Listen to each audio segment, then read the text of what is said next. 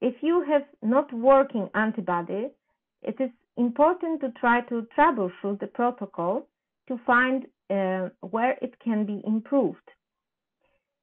Here you can see an example of uh, Rubisco antibody, uh, one of the results we have received from our customers before optimization and after optimization. Not everything is lost. If you work with custom antibodies produced to your target protein, there are different things which can be done, which I have talked about. Uh, if you work with catalog antibody, you should carefully check product information sheet because this should contain uh, different details on how an antibody has to be used.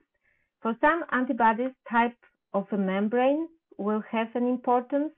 Um, as you saw, load per well can have an importance. Blocking, type of blocker. Uh, also, if an antibody is to a protein of low expression, it most preferably should be affinity purified.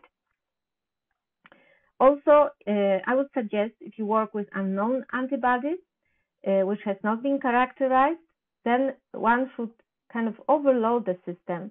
So use quite a lot of protein load per well, primary antibody in very in, in larger amounts and overnight incubation. If if a target band is detected, one can still optimize these conditions and uh, fine tune them.